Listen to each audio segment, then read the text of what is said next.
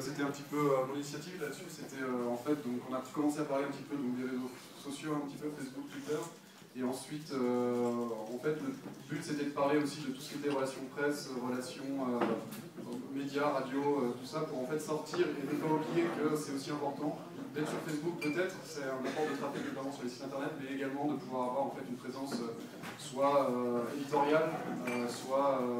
soit aussi également la presse parce que ça reste quand même très important peut-être qu'il y a d'autres personnes qui verraient ça parce que moi j'ai parlé pas mal pendant la session qui ont des choses à rajouter. Euh, très bien. Quelqu'un voit des trucs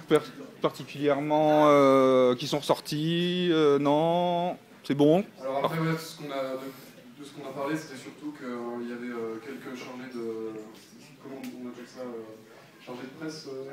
attachés de presse dans, la salle, donc c'était important aussi de, donner le rôle en fait, de ces personnes-là, parce que sur un petit domaine, euh, finalement, il n'y a pas beaucoup de moyens, et euh, de se dire que de prendre un attaché de presse euh, sur,